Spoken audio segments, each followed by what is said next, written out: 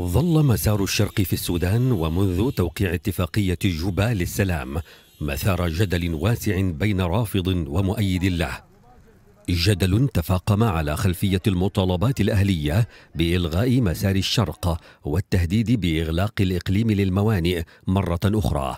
وهو مطلب ترفضه الأطراف الموقعة على المسار مؤكدة في الوقت ذاته أن اتفاق جوبا للسلام غير قابل للتنازل أو المساومة.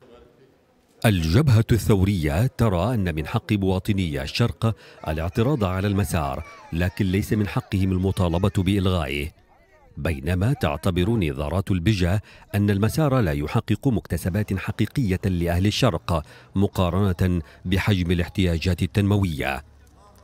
عشان كل الأطراف في شرق السودان يجلسوا ونكوي طوال مباشرة لإغاء مع طرف ونحن نكلف اللجنة العليا برأس السيد يتم من بكرة لتعديل وجلسات لكل الأطراف عشان نحل موضوع شرق السودان حل نهائي تعطيل مسار شرق السودان باتفاق جوبا وقيام مؤتمر شامل حلان يأتيان سعيا لإيجاد مخرج لأزمة كادت أن تتسبب في اندلاع حرب أهلية أخرى في ظل استقطاب حاد بين الموقعين على اتفاق المسار ورافضيه.